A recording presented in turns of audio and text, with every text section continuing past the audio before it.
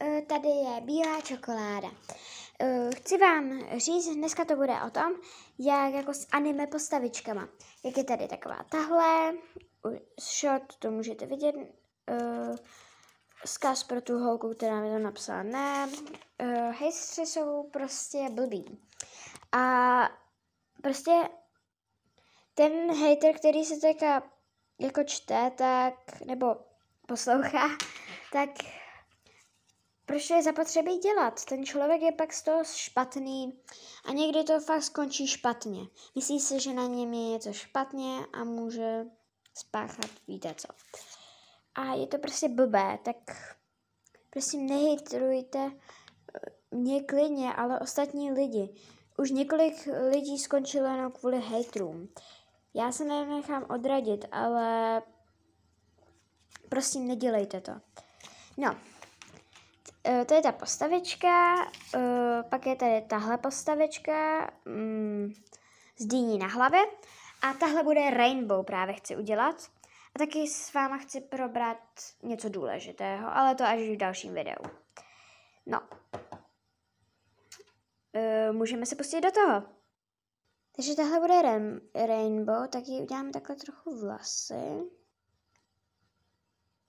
OK, teďka uděláme... Uh, vybarvíme ty vlasy. Takže asi takhle. Barevné vlasy, vlasy, mhm, dobré. A teď asi uděláme tričko. Nebo mikinku, já nevím. Takže asi takhle ty uh, mraky. A takhle udělám takhle tu duhu. OK, máme také rainbow. Uh, ještě jako tělo a jinak to máme.